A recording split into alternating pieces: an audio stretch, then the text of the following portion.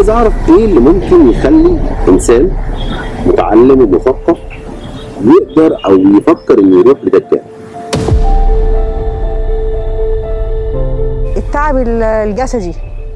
بيبقى فيه تعب شديد جدا على بني آدم. ما بينفعش فيه مسكنات. ما بينفعش فيه تدخل من حد غير من ربنا سبحانه وتعالى. آه بيبقى فيه ألم في الراس لدرجة إن الواحد بيبقى عايز دماغه تنفجر عشان يرتاح من الألم اللي هو فيه. فغصب عنه بيفكر مفيش حاجة مرضية فبيقولوا له ده عرض فبيضطر يروح لحد روحاني. على أساس إن هو يخلص من الألم اللي فيه من الخنقة من كتمة الصدر من وقف الحال من الضيقة حاجات كتير ما بيحسهاش غير اللي عاش التجربة دي. يعتبر إن هو فعلا مفصول عن الدنيا عايش في في في ضلمة نفسه يشوف النور. أنا كنت في كاتب كتاب آه، بنتي آه، طبيعية خالص. كنت قبلها كمان رحت عمرة ربنا أكرمني وراجعه الحمد لله. آه، البني آدم دوت فاتح مكتب بيع سيارات جنب الجامع اللي أنا كتبت فيه كاتب كتاب بنتي. هو معرفة جوزي من أيام ما كانوا في الجيش من سنين فعارف علينا كل حاجة. فما ظهرش في كتب الكتاب بس جوزي شافه واقف على على بوابة القاعه من بره. في الوقت دوت هو استخدم الدجل في إن هو يبعت عليا طاقات سلبية. صورني. ابتدى يشتغل آه، بناء على الصورة اللي صورها لي في وسط المعازيم وفي وسط كاتب كتاب بنتي. آه بعد ثلاث شهور جوزت بنتي. بعد جوازة بنتي بثلاث أيام ابتديت أحس بالتعب الشديد. ابتديت أحس إن أنا كأني بنزل تحت الأرض وأنا ماشية. كنت بحلم إن أنا بدوس في مقابر. ماشية قبور كل ما أدوس القبر يسقط بيا أتشعلق وأطلع أدوس تاني أب... القبر كلها قبور وأنا ماشية بحس إن الأرض بتنزل بيا. آه شفت نفسي وأنا بندفن وأنا صاحية. جسدي بيتلف في في, في قماش وبندفن. آه تجربة صعبة. شفت نفسك ده في شكل حلم ولا؟ رؤية رؤية كأني فيديو شغال قدامي. وأنا قاعدة كنت هصلي لقيت نفسي انزويت عكس القبلة وشفت جسدي وهم حاملينه في القماش وبيدخلوه القبر. في الفترة دي اللي هو كان اتحكم وابتدى يسيطر على عقلي وابتدى يسحب جزء من روحي تحت الأرض للتحكم فيها. ابتديت أحس إني أنا مخي مش بتاعي. آه عندي شروط في ذهني. عندي خنقة. إحساس الموت. بشوف مقابر في في المنام.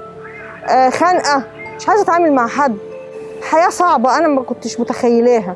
آه رحت لحد واثنين وثلاثة للأسف آه ما كانوش جديرين وقالوا لي إحنا مش قادرين آه فلجأت لربنا. وقلت أنا مش هنزل لحد وهصلي وكنت بقعد بالثلاث ساعات أقرأ قرآن. الفترة اللي أنا كنت بقرأ فيها القرآن كانت بتنزل رغاوي غريبة من عيني ومن أنفي ومن من بقي كميات غريبة أنا معرفش كانت بتيجي منين. أفضل على كده لحد ما أحس إن أنا بقى جسمي اتهد قوي والحاجة اللي معايا اتهدت. أبتدي أخش أنام أصلي الفجر وأخش أنام. عشت في الفترة ديت حوالي سبع شهور بنفس الإحساس اللي أنا فيه ده. أصعب حياة عشتها في حياتي. آه فوجئت بعد معاناة في في القراءات اللي أنا بقرأها سمعت صوت جوايا بتقول لي روحي للحاج فتحي.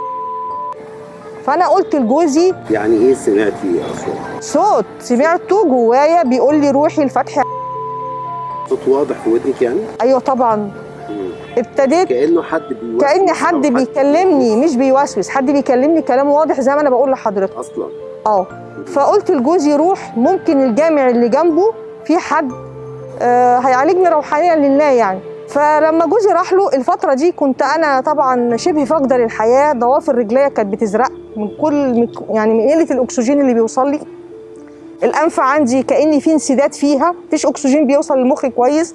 لدرجة إن ضوافر رجليا اتخلعت. اتخلعت من مكانها. آه فجوزي راح له قال له ده مراتي حصل كذا كذا كذا ويا فتحي في إيه؟ راح مودي وش الناحية التانية وراح حكي له بالتفصيل كل اللي أنا فيه كل الأعراض اللي أنا فيها. كان عارف. ما هو شغله. مش مش عارف ده شغله.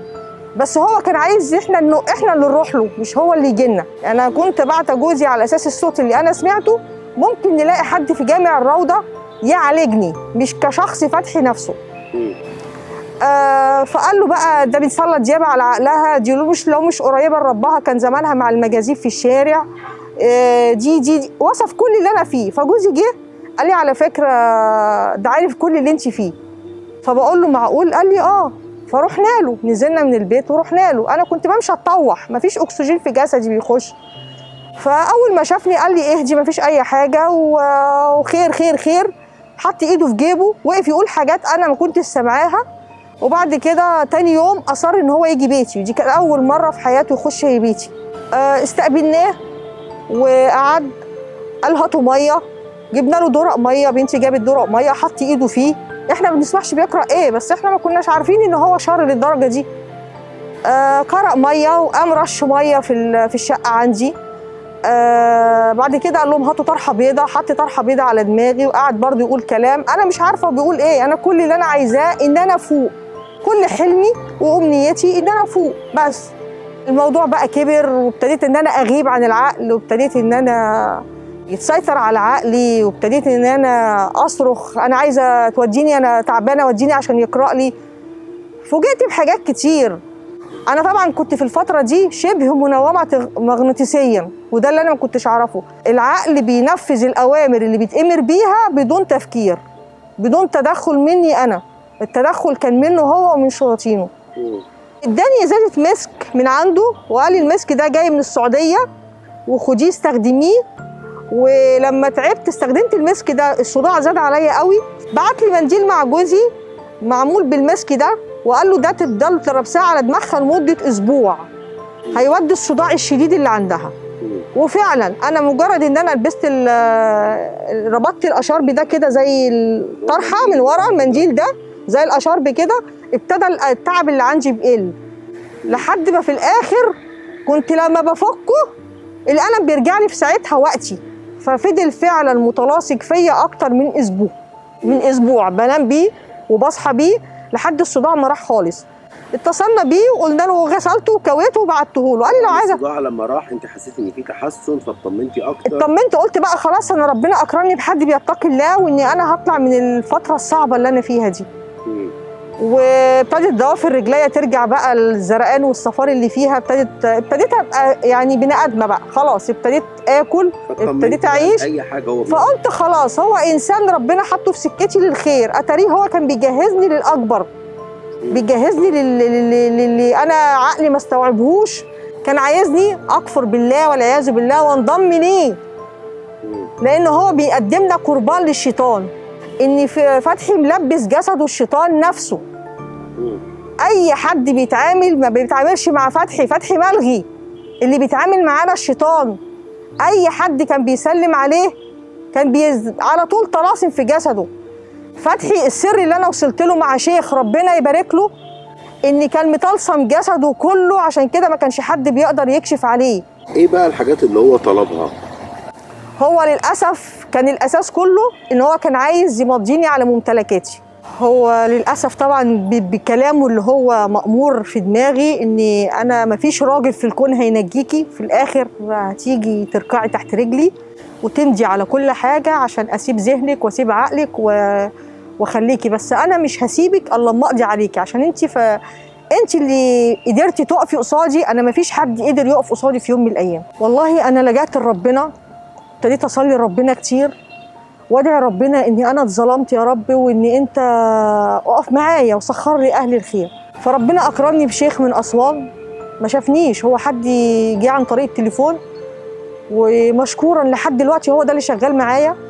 ابتدينا نشتغل في أوراد ابتديت أشتغل في سوره البقرة وفي ياسين والرحمن. من هنا ابتدى يبتدي ذهني بقى والتحكم اللي هو كان بيأمرني انزلي يبقى لازم تنزلي مفيش استجابة. من هنا الحمد لله ابتديت أدي أوامر لجسمي ولعقلي إن ما يسمحش غير صوتي أنا بس.